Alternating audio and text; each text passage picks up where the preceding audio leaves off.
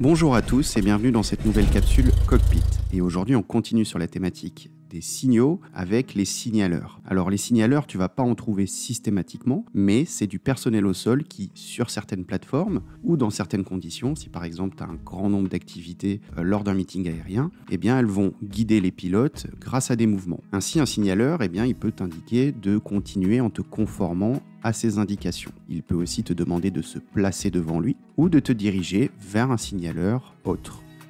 Le signaleur, il va également pouvoir te demander d'avancer, virer à gauche ou de virer à droite et de te demander de t'arrêter. Il met les bras en croix au-dessus de la tête.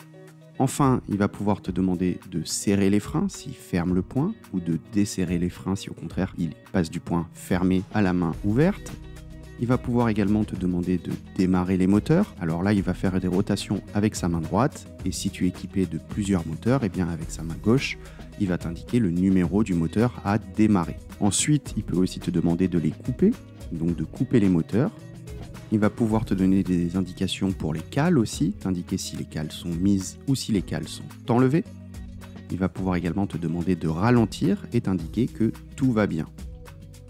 On va retrouver aussi des signaux spécifiques à certains types d'aéronefs, comme des signaux spécifiques aux hélicoptères. Ainsi, il va pouvoir demander à l'hélicoptère de rester en stationnaire, d'atterrir, de translater vers la gauche ou de translater vers la droite, de descendre et de monter. Le pilote, lui, peut également communiquer avec le signaleur en réalisant aussi quelques mouvements. Il peut ainsi indiquer que les freins sont serrés ou desserrés. Il peut aussi demander d'enlever les cales ou de les mettre. Et enfin, il peut indiquer également que les moteurs sont prêts à être démarrés. Ici aussi, s'il a plusieurs moteurs, eh bien, il indiquera le numéro du moteur prêt à être démarré. A bientôt sur Cockpit.